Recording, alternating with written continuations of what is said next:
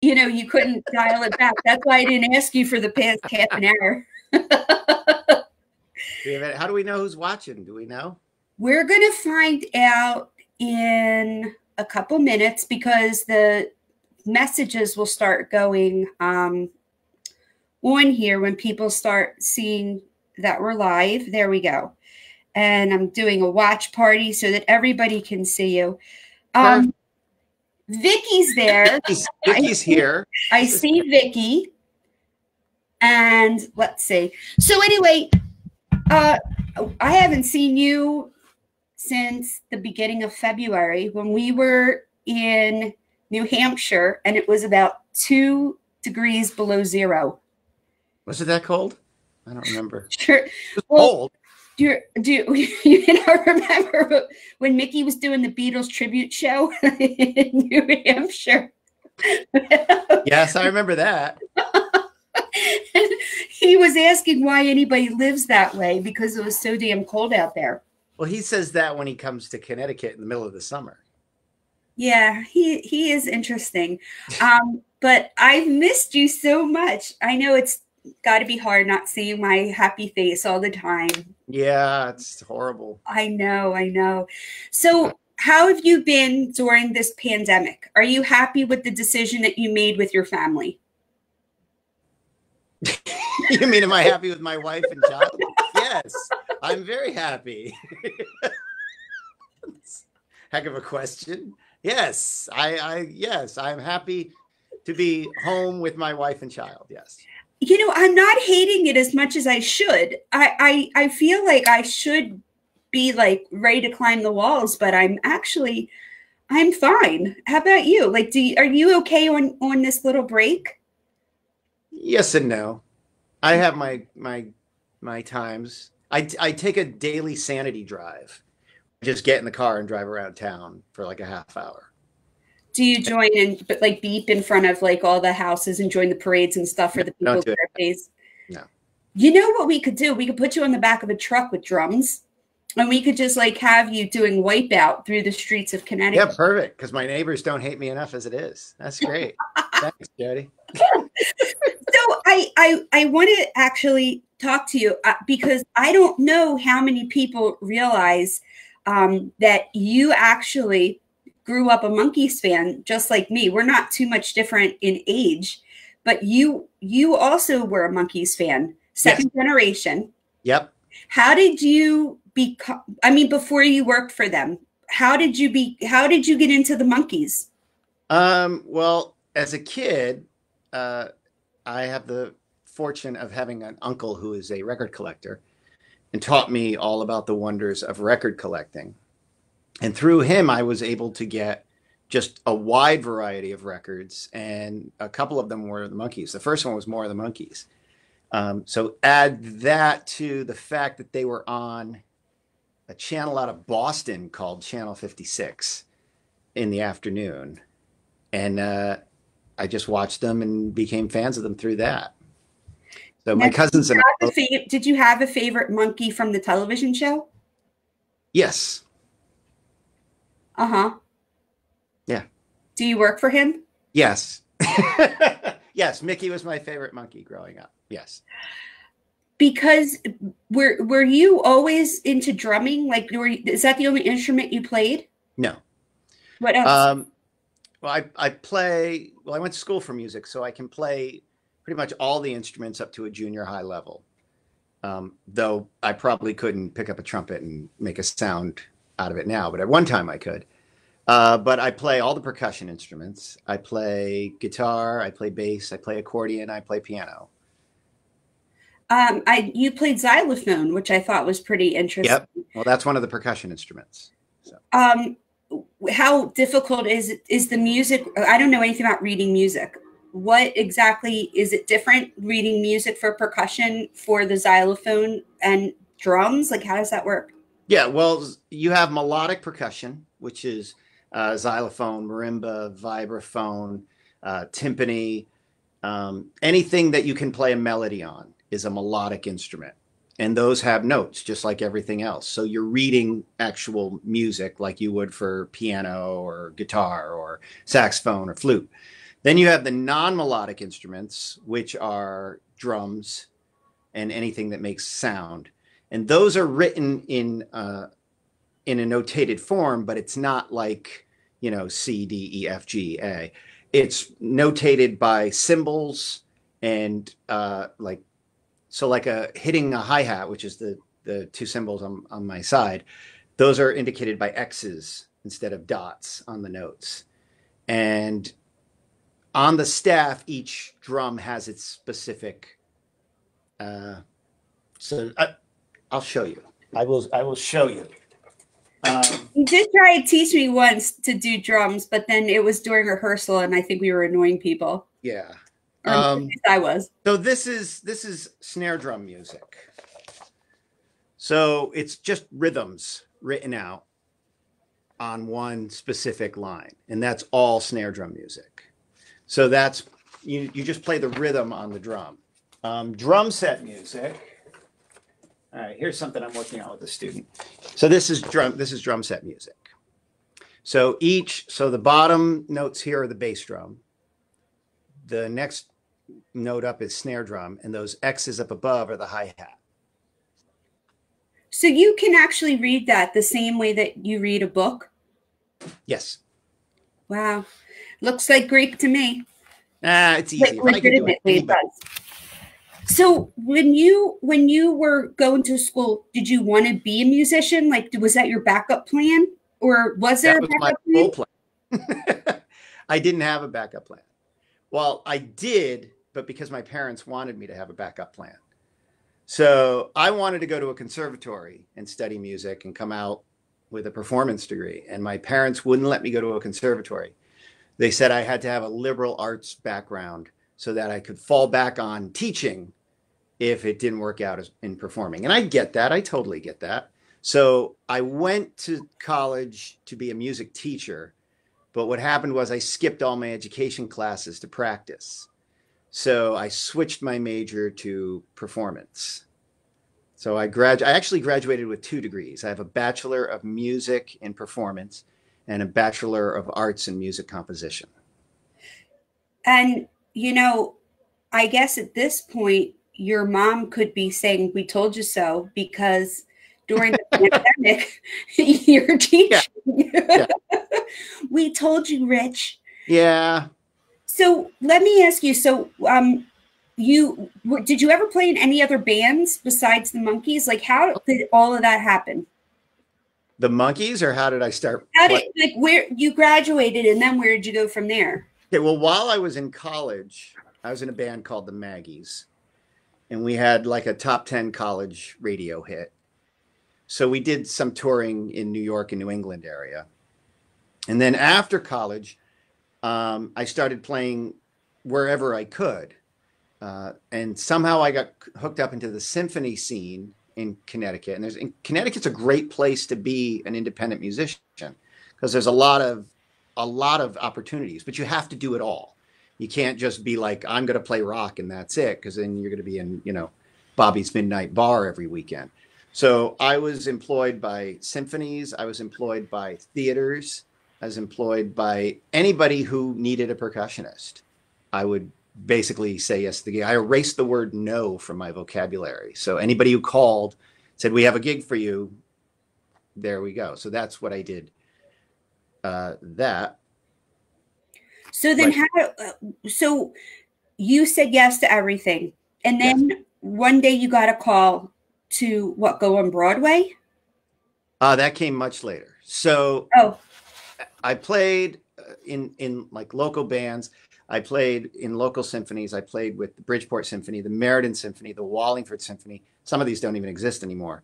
Um, uh, the Greenwich Symphony. Some of these I still play, and I still play in Bridgeport Symphony and sometimes in Greenwich Symphony.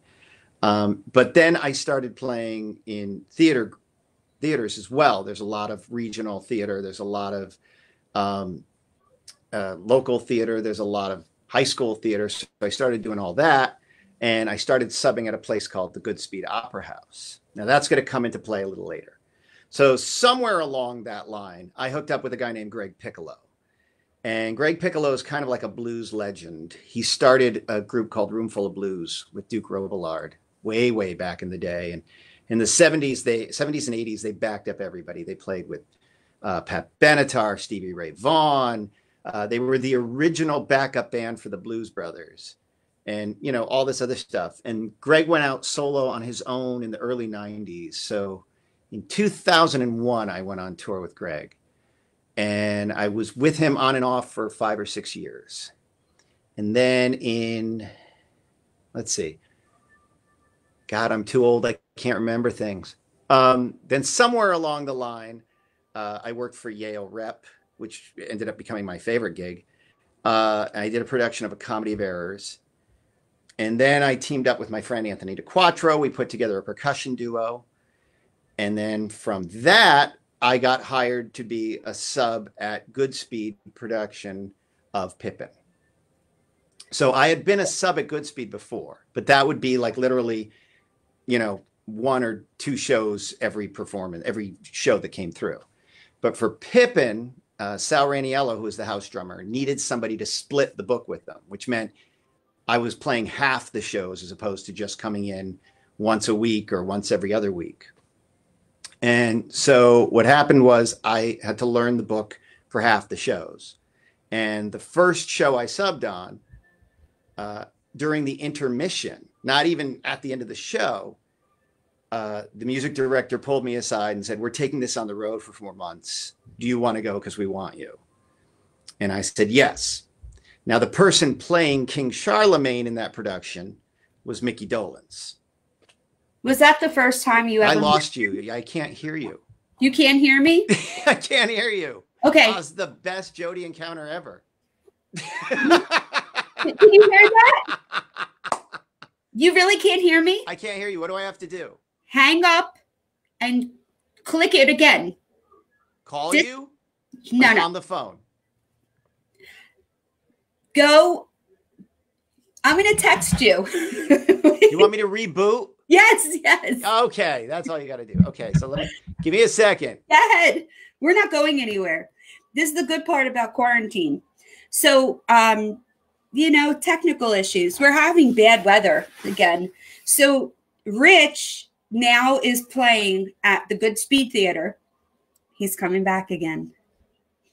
Ready? See, I didn't even get a chance to to give my synopsis.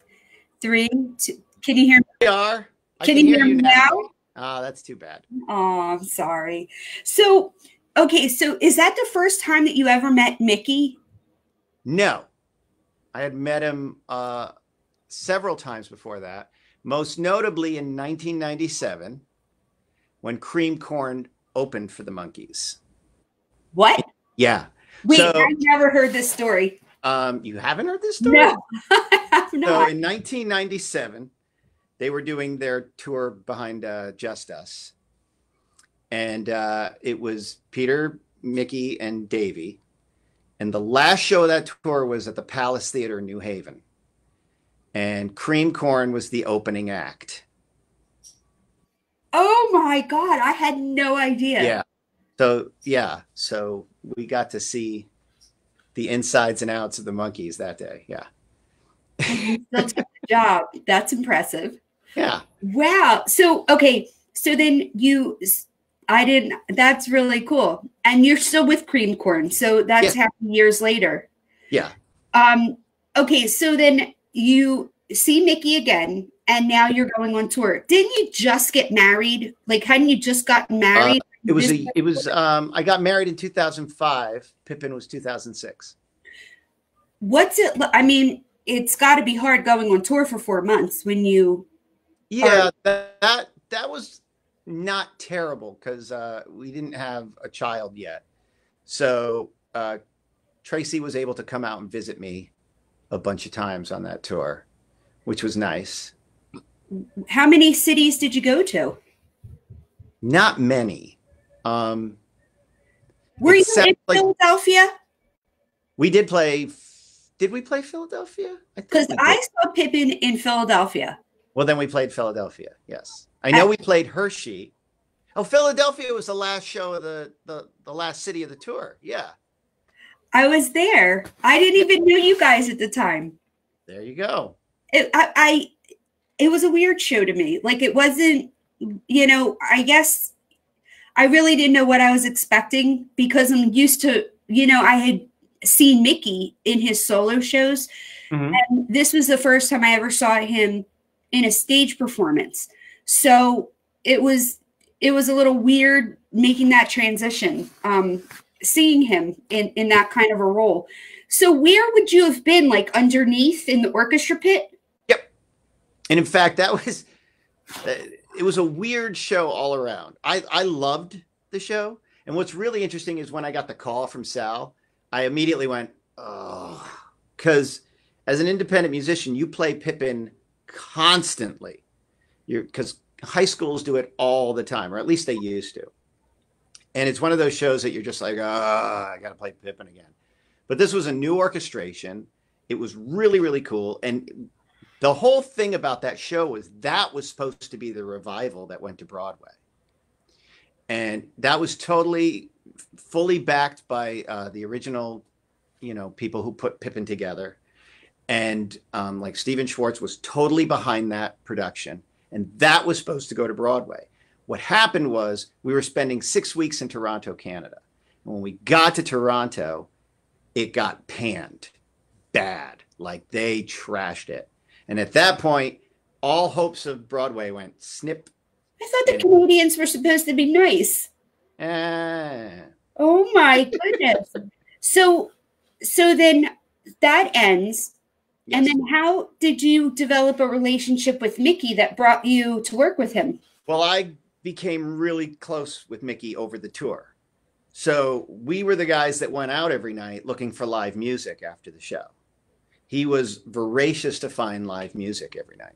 So we would go after the show, we would find a club. Sometimes it was easy to find, sometimes it wasn't in Toronto, it was really cool because we found this great place to go and hear this girl Janice Hagen sing almost every night, which was awesome. Um, we we uh, where did we go in? Was it Philly?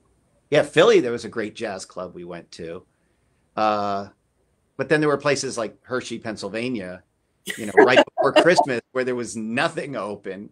Yeah, uh, like farm. But we would, but we got we just started hanging out and going from place to place together. How about that? Yeah. So then, well, then, okay, so then you separate, you go your way, he goes his way. How did you wind up getting the job with him or with the Monkees? Like, how did that happen? Okay, well, after that, well, I'll, let's back up a little bit. So when we were in Toronto, we did a benefit show. So when you're in theater, you have an off night. You play eight shows a week, but one night you're, you're the theater's dark, and it's usually Monday.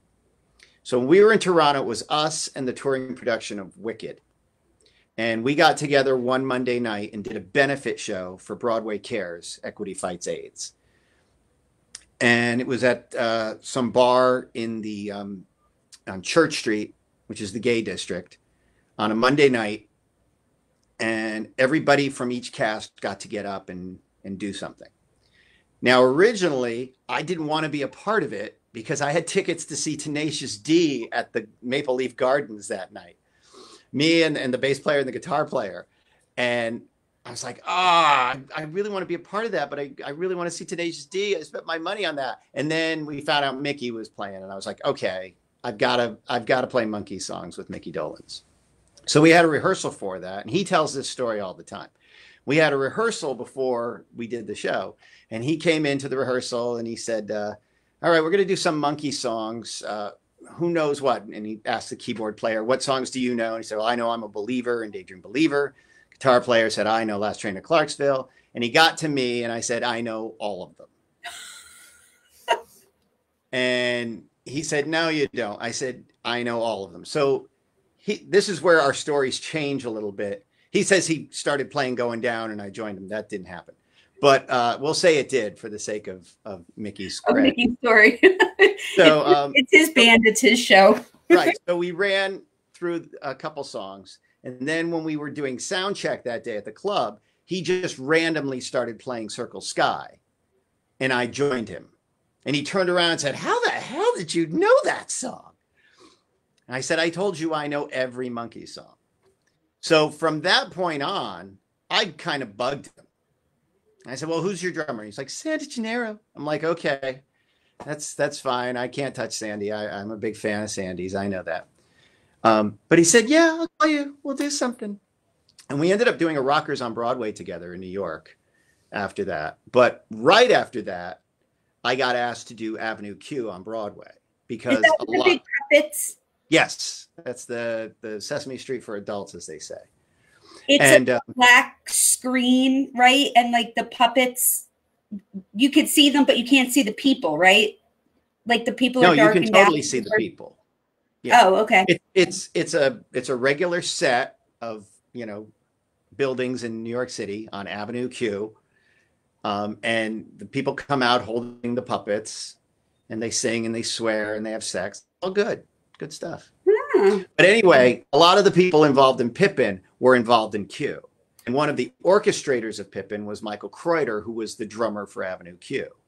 So he's like, What are you doing when Pippin tour's over? I said, I'm going back home to nothing. And he said, Well, why don't you come in and learn Q and you, you can sub for me?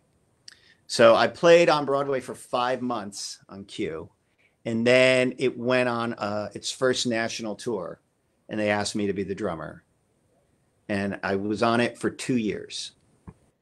For two years, this yeah. job that wasn't supposed to last very long lasted two years. Uh, it, it was never not supposed to last long. Oh, but that seems like a long time. It is a long time. Wow. Okay, so then you're doing Avenue Q, and then yeah. what happens? Well, uh, Micky kind of kept calling me up and wanted to know what I was doing, and I said, "Well, I'm still doing Avenue Q." And when I was in LA, I hung out with Micky. He's like, "Well, when are you when are you done with this?" I said, "Well, I'm contracted for two years." So what happened was I actually got an offer to do a, a brand new show at the Goodspeed right after Avenue Q, the, the Q tour. So I did that. And then I got a call from Micky well, it was while I was doing that that I got the call from Micky, and he said, uh, "You know, I've got some dates. I'm, I'm going to need you." So I said, "Okay." So he hooked me up with Wayne Avers. We talked through some things, and my first gig was uh, Fourth of July weekend, 2010 in Maine, and that was my first gig, and it was like everything else I had been doing, like on Broadway and everything else. There's no rehearsal. It's trial by fire. You go in, you play the gig. And uh, at the end of the show, he took me out to dinner and said, "You're hired, buddy. You're my drummer." And that's that's. that's Isn't it funny how we all go into the Micky voice? I love doing Micky. I love his voice. So, so you never turned back from then, right? No. And then um, they went out in 2011 with Micky, Peter, and Davy, uh, but that was Davy's band. And you know, I was kind of hoping I'd be on it, but I was the new guy, so I didn't have any say in anything. And I was like, cool. I went to the show, I saw it. And then the following year, when Micky, Mike, and Peter went out, um, that's when Micky's band got to be the backing band. Tell me, so you actually never performed with Davy then? No. I hung out with Davy once. Hmm? Yeah. I only hung out with Davy once. I met him a bunch of times, but I only hung out with him once at his last show at uh, the Wolf's Den at Mohegan Sun. Um, we all hung out together afterwards. What was it like for you? Because obviously, I mean, we joke around and make fun of each other all the time, but what was it like for you when did you ever have like with me i had a, a, moment where i stopped and i was like i cannot believe like i'm here did mm-hmm. you ever have that moment where you were like, where am I? How did this happen? type of thing? Um no. I never I never questioned it. I'm I was thrilled to death to get the call and I was super excited to get the Monkees call. Um, but I never questioned it. I've, I've never, you know, I still, every time we go out, I still feel amazed that I have this opportunity. And I go out of my way to thank everybody involved. I always say thank you to Micky. What? So you started playing with Micky, and then when, what was it like when you first met Nez? Because I try to explain that I never ever imagined I'd ever have the opportunity to meet to meet him. Right. Did you feel that way too? Like this was an enigma that you never imagined that you would be seeing in person, let alone playing with? Yeah, that was a that was a weird thing being told that we were going out with Nesmith. Um, and for a while, it was on the table that all four of them were going to go out. Obviously, before Davy passed. Yeah. And I just assumed, well, I'm not going to be part of that. That's going to be Davy's band again, or maybe somebody else entirely. Right. Um, but then ultimately, Davy passed, and they didn't get to do that. And that's when we came on board. And I was that was really mind blowing for me. But it was really weird uh, going into those rehearsals because um, we had our little family of Micky's band, and then we added Christian onto that, and we had never worked with Christian before. That was our first time meeting Christian. So there was that, you know, another dynamic that came another dynamic that was entered in not a negative dynamic by any means we were all very welcoming to christian and we were all excited to to work together every everybody in in our little family our little band are, are all very welcoming to everybody. We all have a big love for everybody. And i say family because it really is a family. And just like every other family there's going to be times when you're ticked off at them. But um, so we added that into the mix and we rehearsed just as a band for a couple days. And then the guys came in and it was a very um i don't want to say tense because that's not the proper word but it was very um we were all very timid and walking on eggshells because we knew how to react to micky and we knew how we could be with micky we didn't know how we could be with nez um and christian was kind of like he knew how he could be with nez but not with micky so there was that weird feeling in the room. And, and again, I don't want to say the word tense because there wasn't tension, but there was. It wasn't a bad tension. No, just, I know exactly yeah. what you're talking about. That some like you you have you almost want to be on your best behavior because you don't you don't know how you don't know them. They're they're new to the family. Exactly. You know exactly. Um, but once we started working together and once we started playing, then that familiarity came into to play. Um, now, add to that, in addition to me getting comfortable with that, I have to teach my boss all of his drum parts that he had learned the year before with Felipe Torres teaching him, but somewhere along the line needed to be taught again. Oh, that's because Micky played drums again on yeah, the tour. So Micky playing drums. So I actually had to teach him the drum parts. And um, the great thing about Andrew Sandoval putting these shows together is that he got rid of all of the the 80s and 90s, you know, Las Vegas, yeah, with the brass section and this and that, and brought everything back to the original recordings. And we all worked very, very hard to get to that original recordings. So when I say I had to teach Micky his parts, I had to teach him the parts that he played or that War played on the original recordings. Because up to then, he was just going with the flow, playing whatever. So I had to make sure that he knew the original parts just as much as I knew the original parts.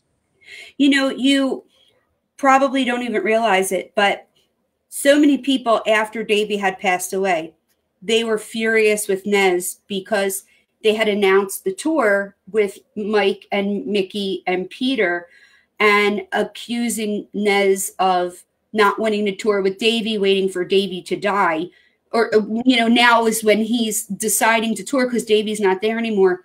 When the truth of the matter is, like you pointed out, there was already a conversation about the four of them that they were potentially going right. to tour. What happened with Davy was unexpected, of course, right. but that's what a lot of people had had been um, trying to say was the case, and that wasn't the case. No. fun controversy, you know. Well, that was during that era when everybody was going out and doing this entire album. We're going to do this album in its an entirety. And their, well, Andrew's dream was to have them do the headquarters album in its entirety as the four of them. Oh my God. Can you imagine? So, I mean, we kind of did that in 2012. I mean, yeah. obviously, we did do Band Six and, um, you know, Zilch. We did do Zilch on stage at the Greek Theater that year, if I'm not mistaken. It was a it was a total fluke. They just started doing it in the middle of the show. That might have been the year they did that. One That's of the years. Amazing. And I don't think they ever did Mr. Webster. No, we didn't do Mr. Webster. And uh there's another one on there that we ended up doing later on the 50th anniversary tour, but not that that year. Um, I'll spend my life with you. Oh yeah, yeah, yeah. Um, I so then okay no what about the the peter dynamic because you didn't mention anything like now we've got nez coming in who was a little you know that was that was right. different different to get used to but what about with peter i mean what was your first interaction with him like well peter um we had done a show with peter prior to this my second gig either my second or third gig was in uh, Sacramento. It was this whole like rock and roll fantasy camp with Micky. And I know what you're talking about. Yeah. And uh, at the end of that was a big concert that featured uh, Micky. Um, uh, I can't think of his name. Jerry Corbetta from Sugarloaf, Mark Lindsay, Peter was on it. Um, and who else was on it? There was somebody else. Oh, Andrew Gold. That was Andrew Gold's oh last. Oh my god! Okay. Uh, and so we got to work with Peter on that, and Wayne obviously had worked with Peter. Um, out of all of us, Wayne was the only one that had worked with all of the Monkees.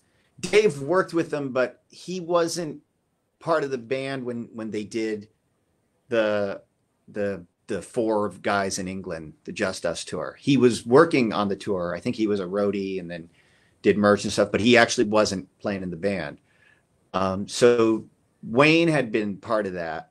John had with Peter because Peter had played with them before I came into the scene, and all those guys had had worked with Peter beforehand. So that was my first interaction with Peter, and I actually met him on the plane.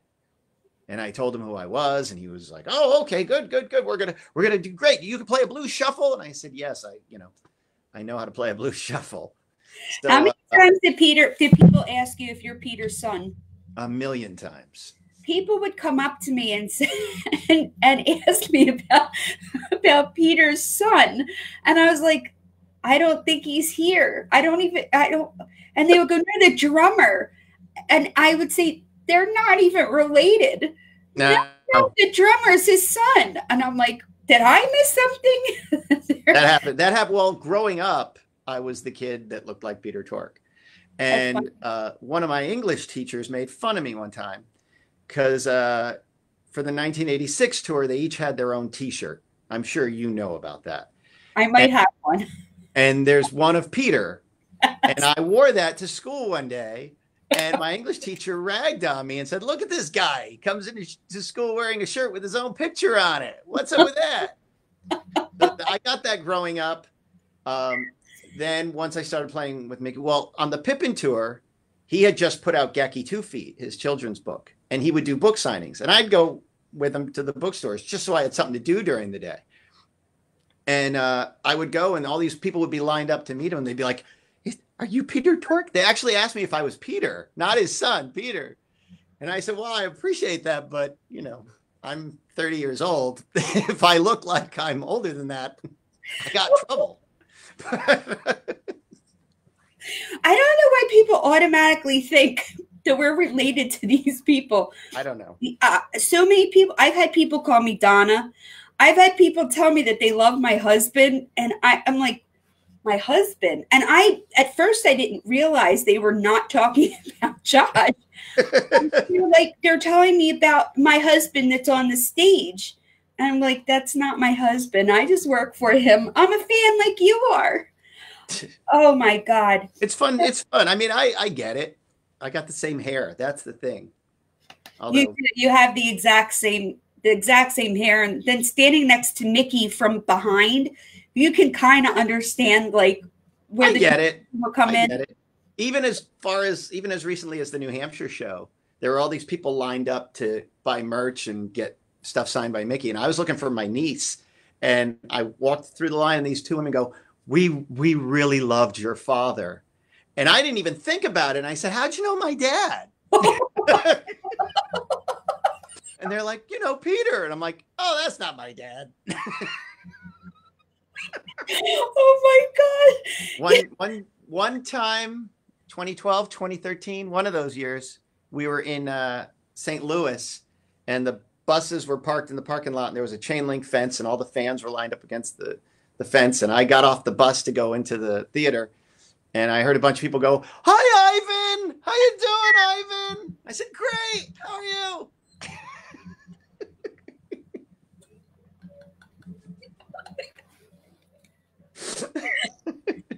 All right. Best fan moment that you've witnessed in all your years playing with them. God, that's a good question. Best fan moment. Something that uh, that you can't make up. There's some ones that I don't want to say. Oh no, we don't. I believe there's lawsuits protecting. Um, uh, okay, my first gig with Micky, Fourth of July weekend, 2010. We're in Maine. Now I'm the shy, quiet kid. I'm the new guy on the block. And even ask Wayne, like I came in, I did the sound check, I went back up to my room, I came in, I did the show, I went back up to my room, and Dave actually texted me and said, Come on down and hang out. We hang out after the show. You're kind of still like that, you know. I know. I'm I'm anti-social.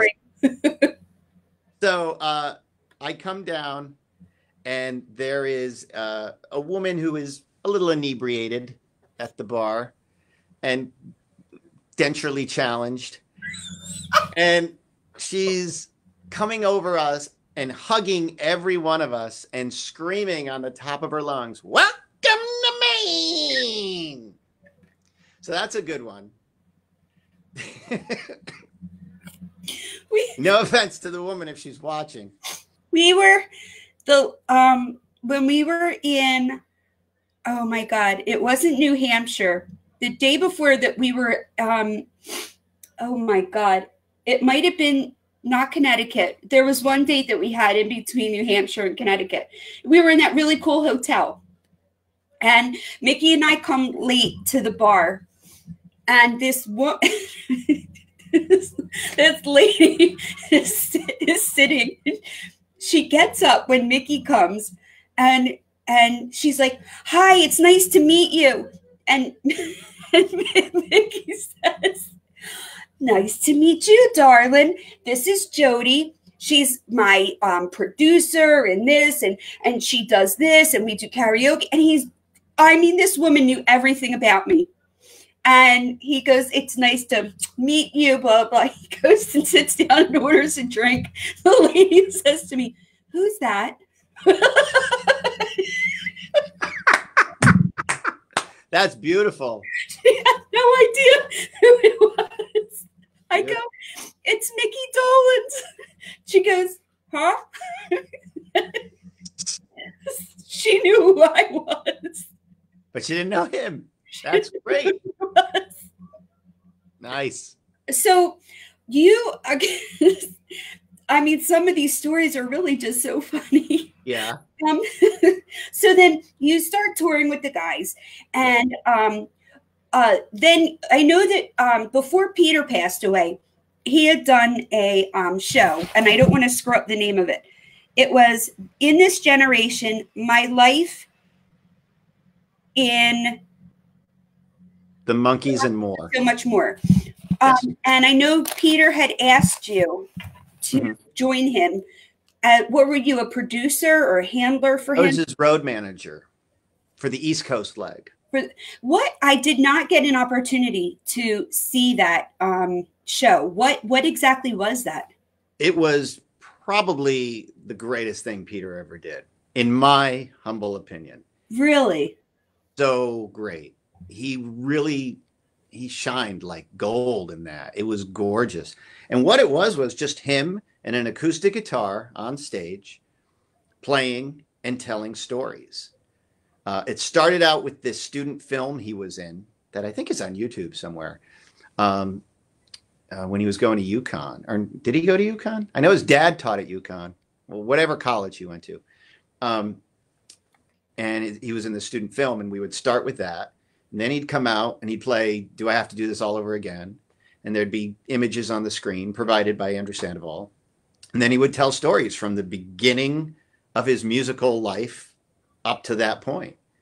And it started out, we workshopped it at his house, me, him, and Andrew. And then we brought it to Buffalo. Buffalo was the first stop. And we had to really condense it because that show went on. It, it was almost three and a half hours in Buffalo. Wow. So we had to really work to bring it down. Um, so then from Buffalo, we just did the East Coast, and it was me and him. That was it because Andrew was there for Buffalo, but then he left. And it was, you know, like two guys driving across the country in the van, in my minivan, going from stop to stop. And we went down the East Coast and played all these little small clubs. And it was so good. It was the best performing I've seen Peter do ever. He sounded great. His guitar playing was great. His banjo playing was great. It was fun. The one thing, um, when I had the opportunity to actually sit down and talk to Peter, he seemed more excited talking about the times when he was a teacher than mm-hmm. when he was performing with the Monkees. Definitely. Um, what what did you get out of what were there any stories that you heard um, that a, a, regular fan would mm-hmm. be really surprised uh, um, about something you learned about Peter from from his story?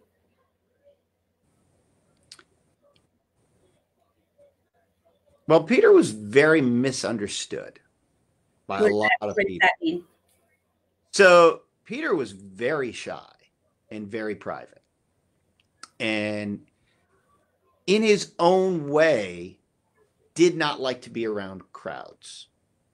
He he a little bit of a, agoraphobia not you know full blown but he did have an issue with being near crowds but at the same time he loved and appreciated the fans who cared about him obviously so when those two things meet it's like two magnets trying to fight each other and it would all come out in a weird way so a lot of i mean everybody's got a story about how they've seen Peter explode or got yelled at by Peter or Peter was rude to them.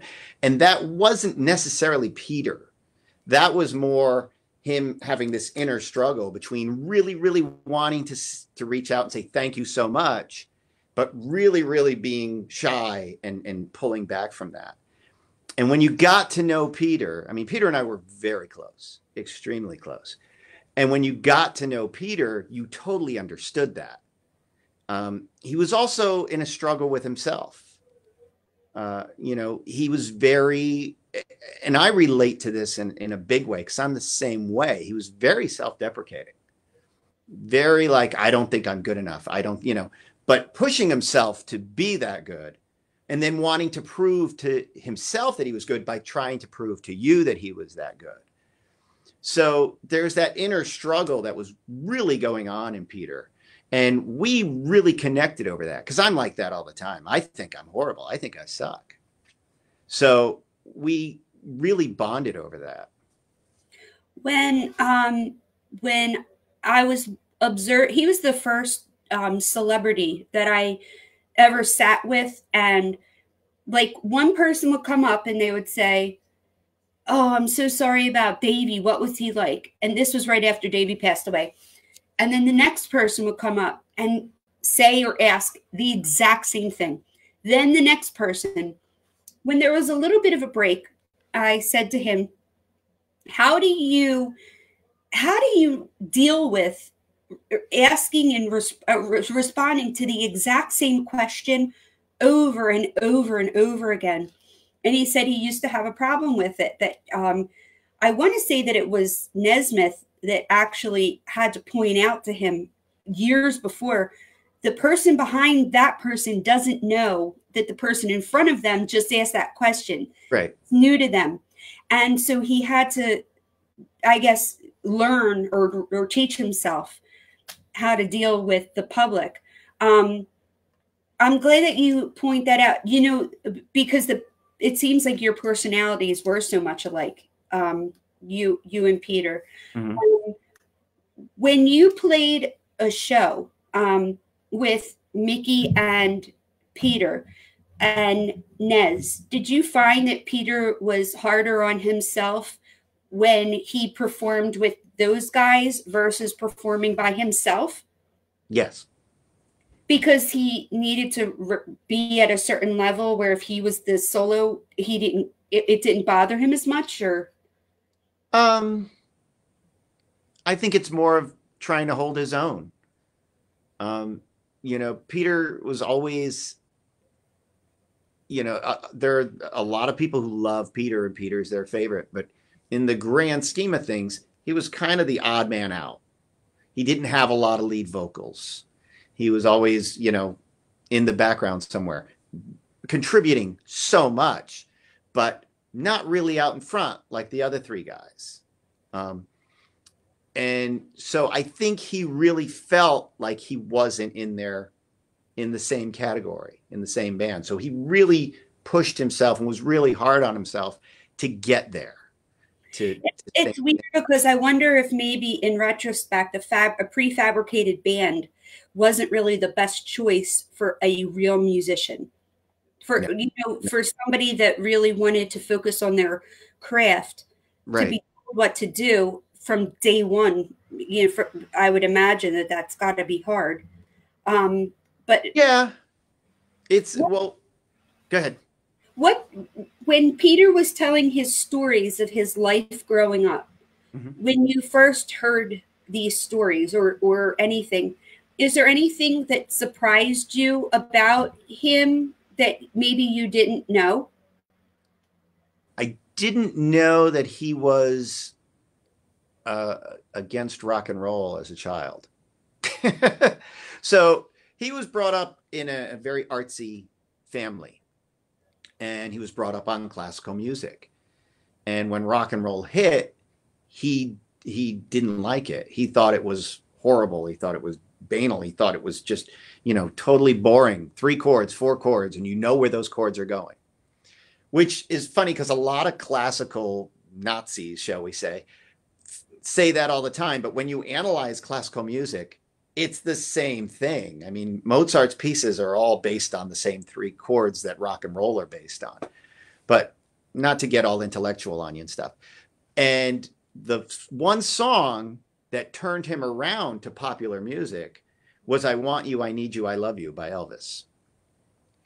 That wow. song that turned him onto pop music because before that he thought it was all garbage. I mean, that's pretty early in the rock and roll era, but still, before he heard that, he he thought it was all garbage. How about that? Yeah, and that kind of struck me as funny. I'm surprised because I I know a lot of musicians that don't really take Elvis very seriously. Oh, so gosh, Elvis is awesome. Don't knock the king. Maria's latest flame is my favorite, one of my favorite songs in general. That's the flip side to Little Sister. Nah, see, I don't know that much about Elvis.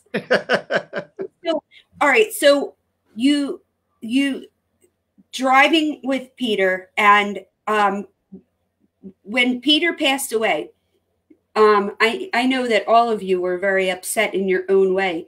But did you feel like you spent such a good amount of time with him? Like, was that therapeutic for you in knowing that you had that personal time with him?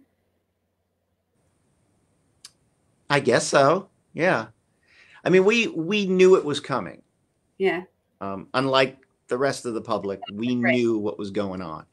Um, and I had been in touch with them regularly, texting them regularly, and and and I knew it was going to be a matter of, time.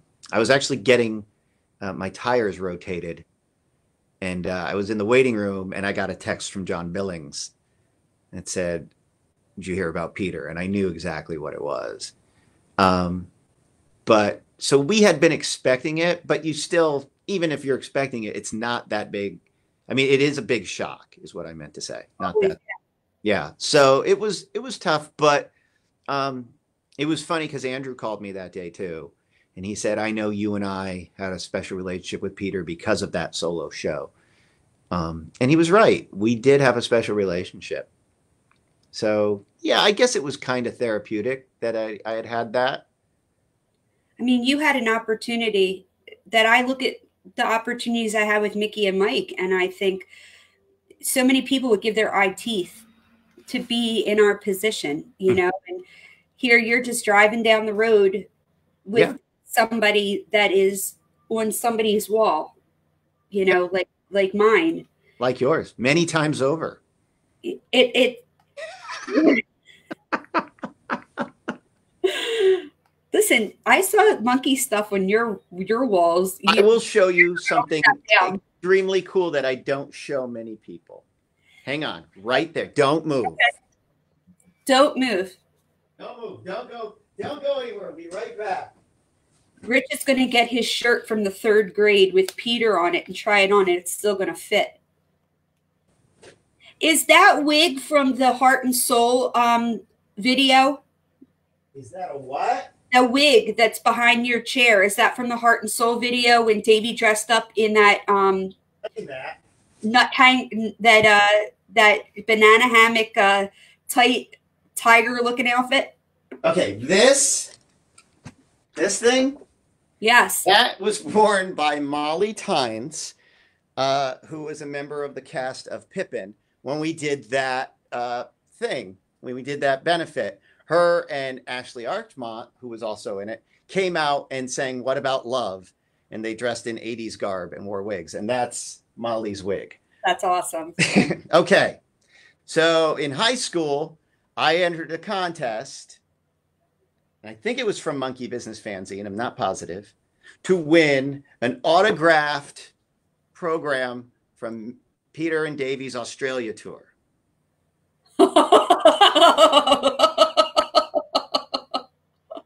right there to Rich, keep on drumming. Best of luck, Peter Tork. So then, fast forward to I can't take I can't show you that because it's hanging on my wall upstairs. Um, we have posters from when we played the Ryman in Nashville, and uh, it says to Rich, stop following me, Peter Tork. but yeah, I don't show this to many people because I know Wayne Avers will just be relentless in mocking me. So, but you still have the Peter Tork T-shirt. No, I don't. I sold that a long time ago. I sold. I I had every T-shirt you could think of, and I sold them all in one big batch on eBay. And then I got a nasty letter from the guy who won them saying, "There's all sweat stains on these." you know what you say? These are this is Monkee sweat. I I said they said they were used. That is so, so funny. So I want to ask you a lot of people don't realize, and, and I was one of them. I really wanted to go and see the show that you guys did with the orchestra in Arizona. Yes. And I wasn't able to go. And you actually did all the arrangements for all the instruments for that. Is that right? No, it's partially right. Okay, partially right. what did you so, did you do? Because uh, truth, I was I was not feeling well. I, I was sick or something. I don't remember. Mm-hmm. Dave Alexander, who I just love, out of nowhere, I get a text message and it's a video. And it was a video of underneath the piano because he was hiding the, the camera or on the phone. And he it was Micky singing as we go along with the orchestra. And I just sat there and I cried. I never heard anything so beautiful. It was beautiful. What what exactly how did that happen that you that you did that? Okay. Um, so what happened was a few years back, Micky got asked to do a gig with this uh, orchestra in Oregon called the, the Metropolitan Orchestra. Yes, it's that album that American came Metropolitan out. Orchestra. That one. And uh, the deal was that he would get to keep the arrangements when they were done. That was part of his payment and then they would shop those around to various symphonies all over the country. The problem was the arrangements were supposed to be based on the arrangements that we did as Micky's band.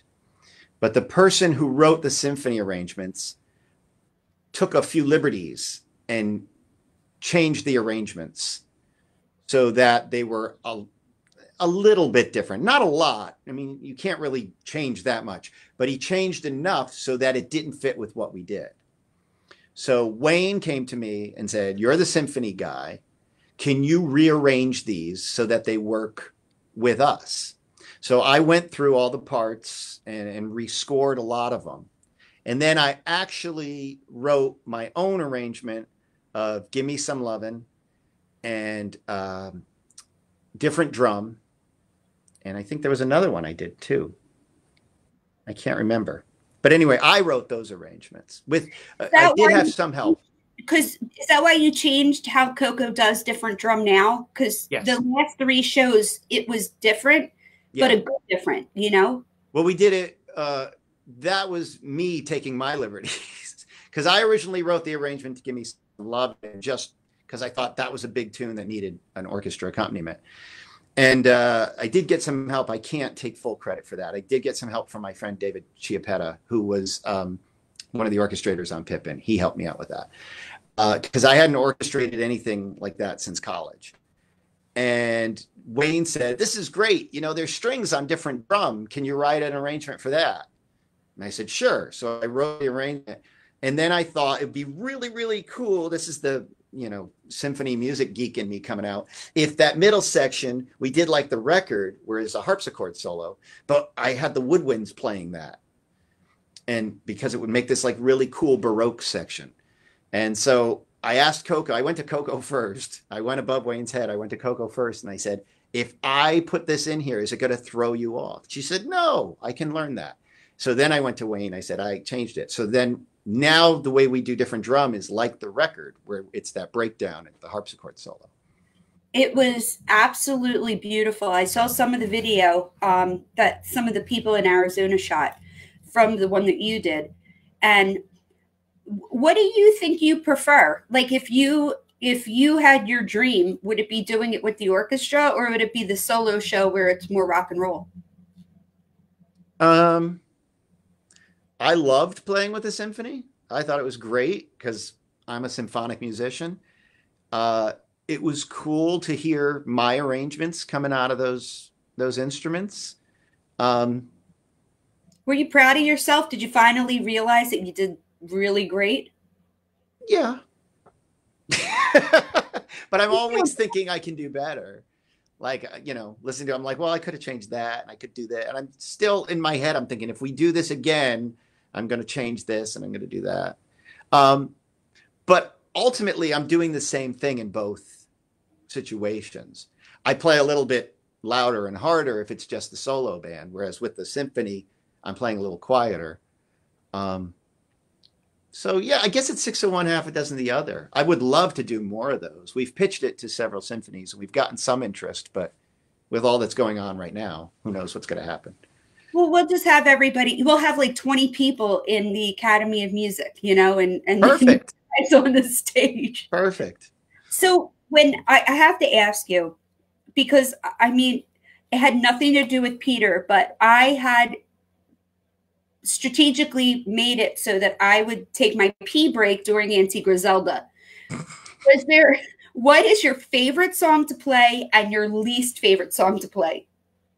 Now you're gonna get me in trouble. Nobody's good at you think that they they're sitting there going, Oh, I know exactly what he's gonna say. Um I don't know. It, it I think my favorite song to play is Pleasant Valley. I was I was just gonna say there's something about when that song starts that you know that you're in the presence of Micky Dolenz.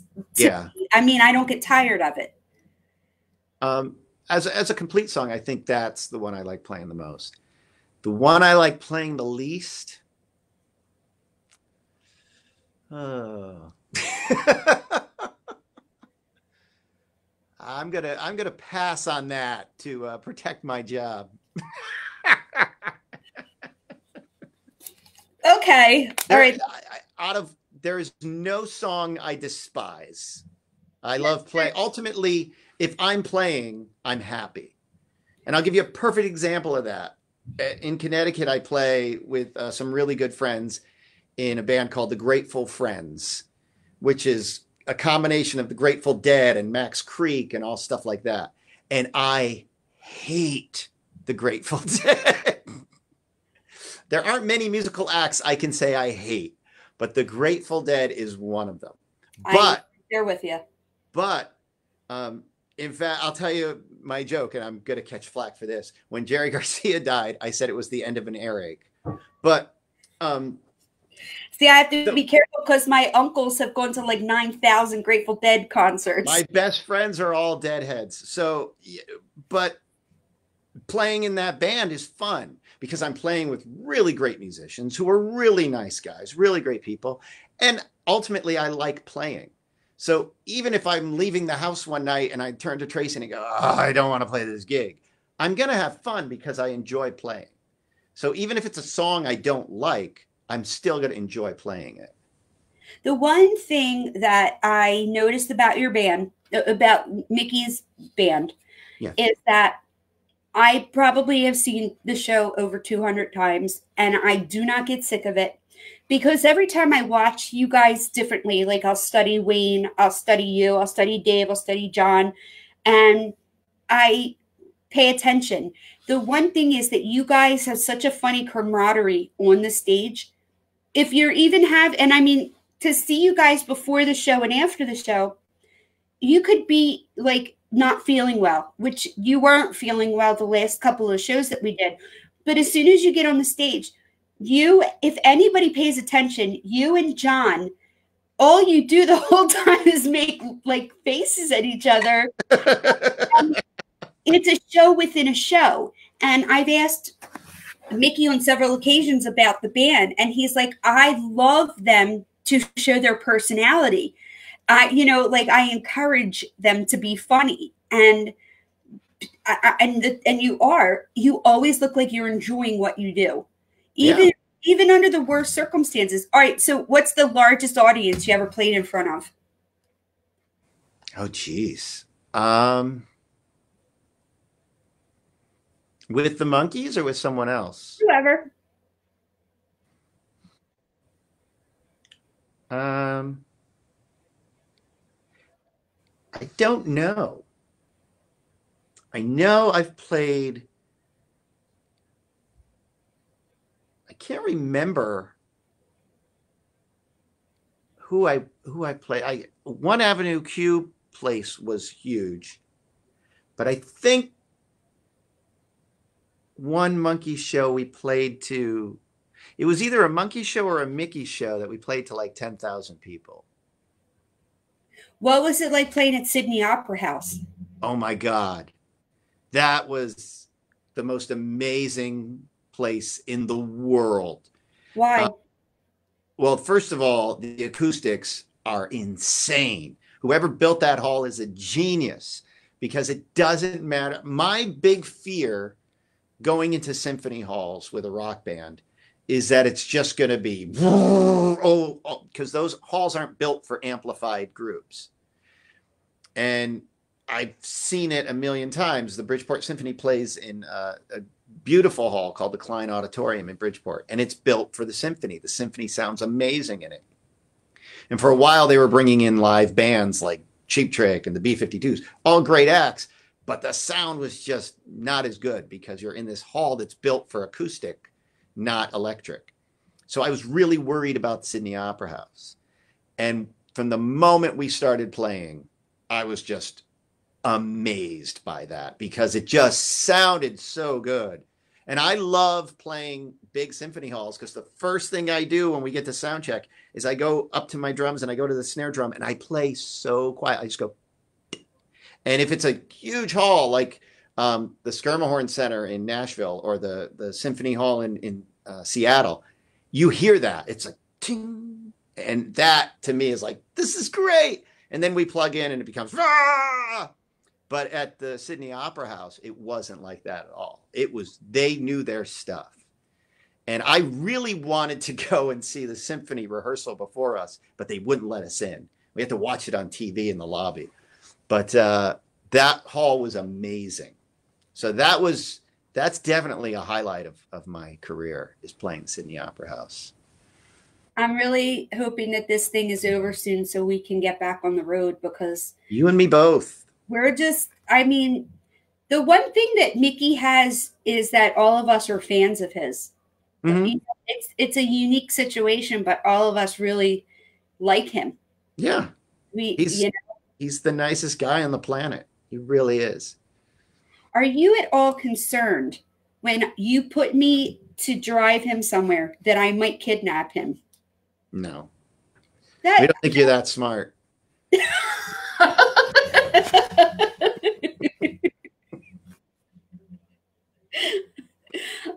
and that's why we get along the way we do. Um, I wanted to just congratulate you on the new um, CD. Oh, thank Awesome. you. I I I'm I'm I opened it and I was freaking out, um, just so excited. And uh, you guys just did a great job. I know Christian spent a long time um, working with that, but when did, did does it is it different when you know that you're recording for a live CD? No, I mean it is, but the way they did this is they didn't really tell us when they were hitting the record button. Oh, you didn't know. we knew that they were recording some of the shows but we weren't sure which ones and and it's actually better that way because when some you can be playing the same thing a million times like i've played last train to clarksville a million times but if somebody's hitting a record button that's going to change what's going on in here because all of a sudden i'm like this is going to be forever this is on tape and and any mistake i make is there forever so you do get tensed up a little but if you don't know what they're recording and what they're not recording, then you can just goof off and do whatever you do normally. It I was I was just so happy because I like all the songs. All right, this is the last question I'm going to ask you. If Okay. you, being that you know all the Monkee songs, if you could add one song that Micky never plays, any Monkee song to the tour, whichever, Mikey, Micky, Micky, whatever, what song is your favorite Monkee song that they don't play? Um, maybe Love is Only Sleeping, Really? but that's a tough one because we actually did work on that. We did try to put that into the show one year. Um, so m- maybe if there's one that we've never worked on, I don't know. I would love to do Shorty Blackwell, but I know that's an impossibility. Who Uh, wouldn't? Uh, and I do. What what song did I hear the other day that I thought would be really really cool that we would never be able to do?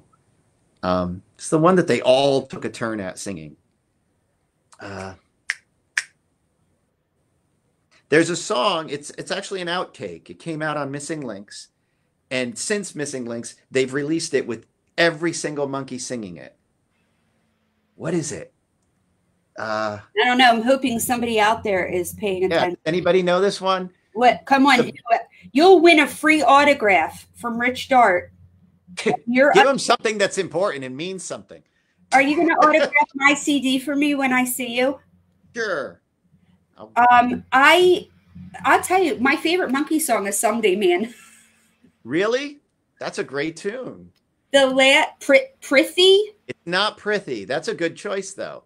That was Uh, the good one, Mary. Uh, no, what is it? Where uh, are my Monkee nerds at? Come on.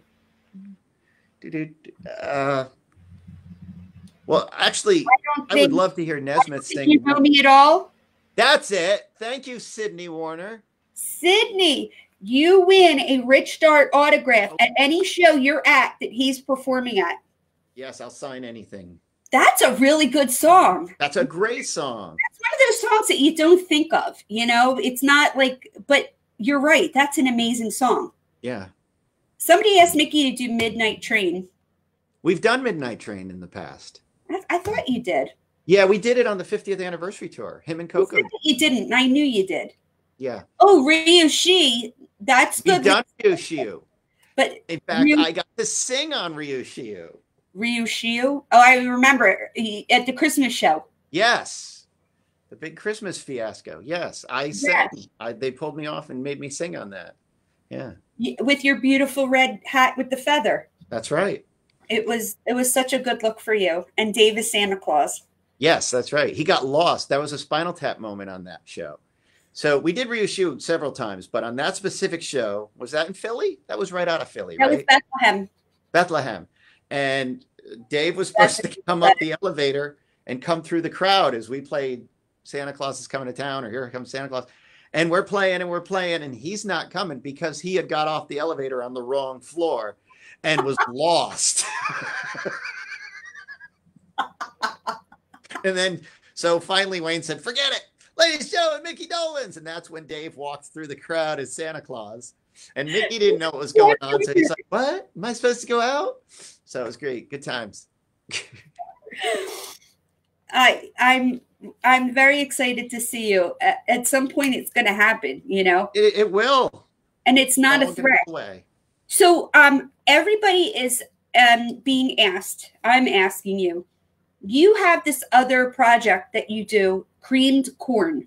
Yes and what are you guys doing because i want i know that you're always sending me these really unique songs good way to describe them really unique well they're they're different like i don't even know how to, it's somewhere between like weird al and music mm-hmm. and um and but they make me laugh and they're fun well that's good well that's what they were supposed to do um now I have to tell you that uh, real quick. When I met Danny Bonaduce and you had asked me to get his autograph, yes, to, to the what was it to the illegitimate sons of Keith Partridge? Yeah, that's one of my other bands. Where the hell did you come up with these names? I made that up. It's a good thing the quarantines are already taken. that's a great band name. so, um, everyone's going to go to Creamed Corn they're going, and I'm going to put the um, link on my page so Perfect. that people can like that. And then you're doing a project with them that people can look forward to, right? Right. Well, we we started a project at the beginning of the year, which is a project I did a few years ago, where each month we were going to write and record a new song. It was your and goal. That was our goal, and uh, we got two of them down, and then COVID hit, and uh, unfortunately, not all of the members of the Corn are 100% in the modern age, so we can't continue the recording process because uh, we all record at a, a studio at our friend's mm-hmm. house. Um, but that's going to pick up. So we started that. And then um, we decided we were going to do one of these online things where we each where we play together. But those what people don't get is those aren't done live. Those are done like the way the Stones did it on the thing. They they each recorded their part and then they edited it together. So we did that um, over the course of the last week, and I'm editing that, and that'll be up on the on our corn page probably tomorrow or the next day. I'll make sure that everybody checks that out. I just want this quarantine to be over so that we don't have to watch videos like that anymore. Every one of these I mean, it's great seeing the Goonies reunion and every one of these reunions, but it's missing something by not yeah, having that. I agree. I agree. But I think we're handling it really well, which is actually very cool. Um, I'm really proud. I'm I'm actually very proud of of everybody because I think I, I would have expected more people to jump off the bridge by now. But yeah, you know, I guess when you really anybody that pays attention, it could be so much worse. So thankfully everyone's doing what they have to do and i know we're going to be back i know that the guys you know i talk to micky all the time i know he's you know ready to go. So yes we are all ready to go. we are ready to go. I would have been just getting home two days ago from the tour. You know we can do? We can start having micky sticks. We can um we can take your sticks and we can put duct tape around them so that they're they're poles six foot poles. So keep everybody away. There you go rich you are so awesome. Thank you so much. Um this is the only way i get to talk to you because i know that you don't like to be seen with me. So this no, don't feel bad. I don't like to be seen with anybody. I, do, I, do, tend to take it personally, but then you know, but then sometimes he comes say hi to me, and I'm like, oh, he knows I'm here. Yeah, every once in a while, I, I decide to be nice. You are. You no, you really are, and you're so talented, and everybody loves you, and and you know that's a lot of people don't realize, and I don't think that the band realizes that we don't all just go to see Micky. It's that environment. It's the fun, you know. I remember when I used to think you guys were famous And I was, I swear to God, I was given your phone numbers originally, and it was like, yeah, call me and whatever. And I was like, oh my God, like I have a celebrity Rich Dart's phone number, you know. that'll that'll get you nowhere. realize like people are screaming at you, they're cheering for you, like you mean something to people. Well, I, I appreciate that. I, you know, I don't. You make people. you're part of the reason people leave their house and they go and have a good time. Like you're part of the reason for two hours somebody forgets about their problems because you because enter- they see me and mine. yours. We just want to meet your boss afterward, you know? There you go. Rich, get the hell out of the way. But yeah, exactly. day. Where's your boss? You are so wonderful. Just keep um, playing your music and keep making us happy because you really do. You make us all so happy. And and I know everybody loves you. I never heard anybody say anything bad about you. And You're talking to the right people. I know. Well, you know, I, I have a call with your wife later. Um, but we all love you so much and i really appreciate you hanging out with us because this is the best way that fans can see you you know and and and talk to you. And then maybe the other guys from the band will talk to me. See i figure if you do anybody will. Well i'll if you can get wayne avers to do this uh, uh, i will give you anything you want. Do you all hear that? Wayne's next I know. I think Wayne just dread. Well, I know Wayne used to dread when I was coming into a room, but he gets me now. Yeah. Now we're. We but all of you realize that, that I'm just like an, an, an excited, an excited human. well, I, I, appreciate what you do. I know we all appreciate what you do. You, you have, all in your own way. in our own way. I mean, we don't want to actually come out and say thank you, but you know, we appreciate what you do. You've never not told me where the green room is, so that's a good thing. Yeah. Yet. Yet. Oh, I can't wait to see you. Just continue doing absolutely nothing. Oh, and you also, real quick, you're teaching drum lessons. Yes, through Skype through Skype. So if somebody, no matter how old they are, like let's say they're 45 and always wanted to play the drums, they have sticks. Are you are you taking on at any level? Like what? Yes. What, really? Yeah, really. I love beginners. I love starting people off. Really? I, I, teach any level, and I, I love working with older people. I love working with college kids. I I love working with all levels, but I absolutely love beginners because then I don't have to break them of any bad habits. wow. All right, good. So yeah, so if anybody wants lessons, they can contact me, send a personal message on my Facebook page, my Rich Dart Percussionist page, um, and we can set things up. You know what? I think that if anything, this is a good time for everybody to relearn stuff. You know, we all kind of um, got away from what what we could be doing. And now it's like we're starting over again you know rebranding ourselves. I agree. Oh i'm so glad. All right good. So you're teaching drums. We've got cream corn and um you're going to be back on the road as soon as possible. As soon as possible. Right now it's set for july so let's keep our fingers crossed. Did you want a Monkee mask? No. Are you sure Positive. My wife made me a mask, so I'm wearing that one. It does it have a band on there? No. Mine, Looks like I'm gonna rob the stagecoach. Mine says, "I hate this mask. Please oh, don't oh, wear it." That's great. Well, I saw, and this is not about being political, but somebody did say if you want them to make you take your mask off, put Trump 2020 on there. I'm just saying, I thought it was a like great Larry idea. David when he wears the the MAGA hat, so no one will sit next to him. Well, Josh Josh went to a family thing and they all hate Trump, so he borrowed somebody's "Make America Great Again" hat and he sat down and he goes like, "How you doing?" just to make them angry. Hey, if I go black on you, it's because I have two percent battery. I just I'm leaving. Have a good one. Thank you so much. I miss you. I miss you. I miss you. Thank you so much for having me, Jodi. We'll Love you, Rich. I'll see you soon. Bye, All sweet. Right. Bye bye. So Wayne Avers, I'm coming after you. We'll see.